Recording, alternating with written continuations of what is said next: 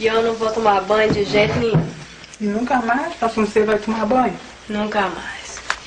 Então os pés de feijão crescendo nas minhas orelhas. Ia ser muito bonito uma escrava bonita como Vassoncê cheirando como um monte de estrume. Não é bom ser bonita não, viu? Se eu fosse feio, os homens não botavam os olhos em cima de eu.